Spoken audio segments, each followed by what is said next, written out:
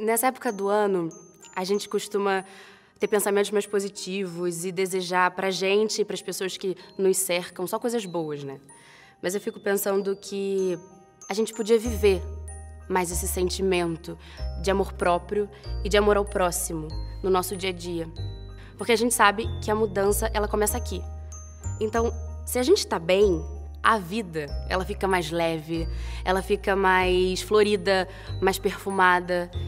Então, eu desejo para o mundo mais amor, mais tolerância, mais respeito, mais olhos nos olhos e paz. E você?